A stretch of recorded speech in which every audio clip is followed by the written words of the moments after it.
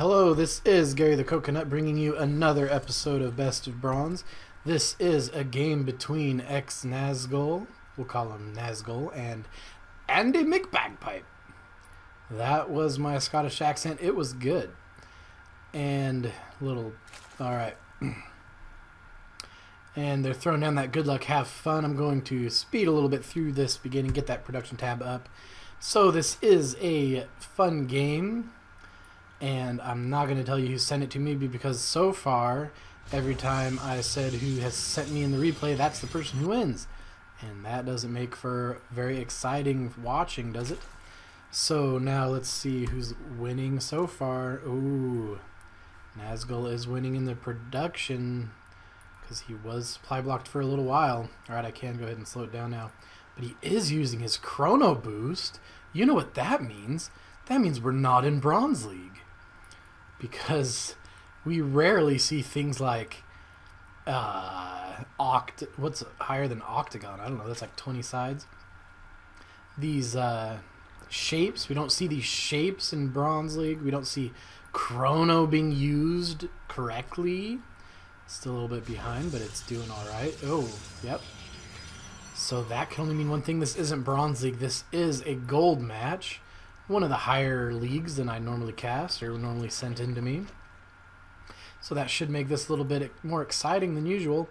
Is doing an interesting wall off here. He does not want to have an Artosis Pylon. So he is throwing down that second pylon. If you do not know what an Artosis Pylon is, I will tell you. It's when somebody has a bunch of their buildings all powered by one pylon. So you kill that one pylon, and all the buildings become unpowered named so adequately by I think it was Idra calling it to Artosis. I think I don't know. Don't know if that's true. Could be InControl Five. I don't remember who said it. I think it was Idra. Anyway,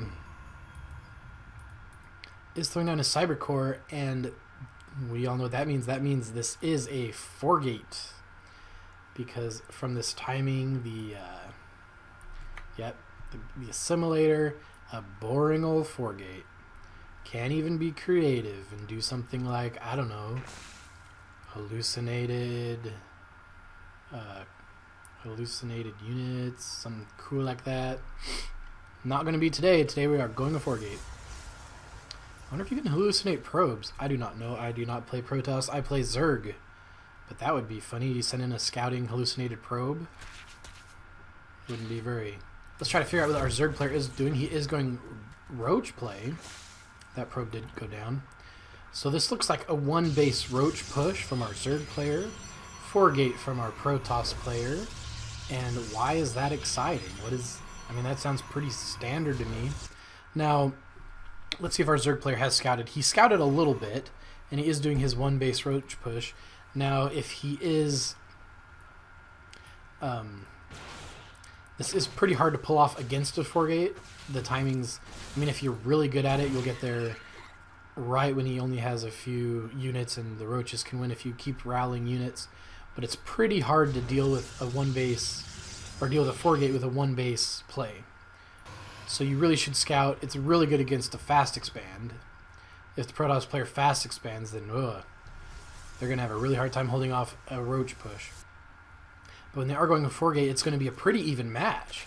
So especially if he gets an evolution chamber, that's and uh, having all these minerals built up. What he needs to be doing while these roaches are building and those roaches are moving out is it going to be spotted. Oh, that overlord, he can save it. That's exactly what he needs to do, or else he would be in a world of hurt right then. And this zealot not even getting the watchtower. I bet that he was trying to get that position so that he could place a pylon there. And what is... Oh, I lied. So he could place a pylon here. So that Overlord is going to go down, and that's going to slow down Nazgul a lot. And uh, Andy McBagpipe, whose name I need to be saying a lot more because of how funny it is, he has pretty good pl building placement here, but I say it's not a bad idea for either going for pylons or going for probes, but probably not both. But at the same time, he's got a problem of his own. These, uh, he has his base, and there's nothing here to defend it. Spine crawler wouldn't be a bad idea at the moment, but these roaches are I mean, both bases are completely undefended, so if we have a base race situation on our hands, that could be interesting. I would say that in a base race, the Zerg is a little bit on the better side because he has those broodlings, and that will do some damage if he uh, and he has some roaches there, so that's good. But our uh, Protoss player he doesn't have any defense, so these bases can go down, and if uh, it's not microed properly, but this pylon over here, I don't know. Andy McBagpipe might have a chance. Those drones need to get out of there. That's exactly what he needs to do. But Ooh, they're gonna go down. Are they gonna go down? Get them out of there! Get them out of there! Oh, look at that. He makes it out of there with 8 HP. That was... If those probes had been uh, attacking correctly, he would be out of drones. And he is almost out of minerals. So I do think this is a base race situation. The only one with enough minerals to build a unit is our Protoss player. And he is... Oh, and the Zergling. Ah. Oh.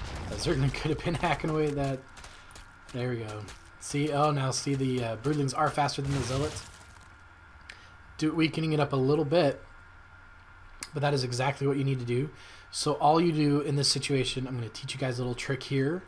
While these buildings are all going down, you hold shift, click attack the building, and then while holding shift, right click away from the building.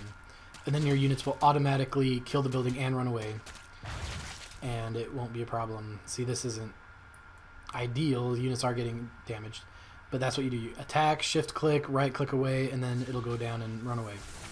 And then you can even just do it automatically. Sh attack, shift right click, attack, shift right click, all while holding shift. It'll kill the whole base without you even having to look. Anyway, Oh, but he did go ahead and get that extractor. That's exactly what he needs to do with his only drone, and he doesn't have anything left to do. So this is looking like the end of the game near here. These buildings are going down, and so it's just a matter on... And I believe that Nazgul is getting revealed. Yes, he is getting revealed. So Andy McBagpipe can see all these buildings. And unfortunately, Nazgul can't see it yet because of this Nexus here. Nazgul's throwing up the GG. He thinks he's won the game, but he has not.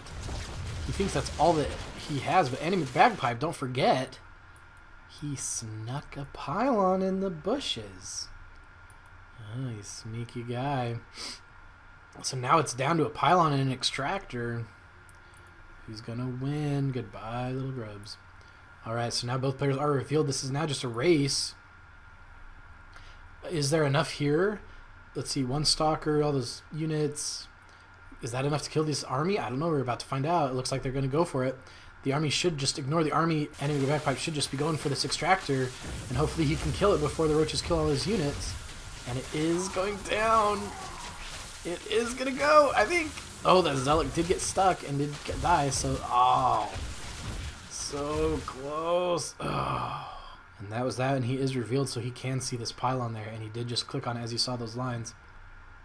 Andy McBagpipe swearing through his pipes about losing that game. That was a really close game. It was a lot of fun to watch. Thanks to Nazgul for sending me in this replay. Very close and exciting game. And uh, yeah, so if you want me to watch your replay, and if I like, I will cast it. Send it to bestofbronze at gmail.com. Don't forget to send tell me what league it is and which player you are in the game. And if I like it, I will cast it. So until next time, this is Gary the Coconut, and that's it.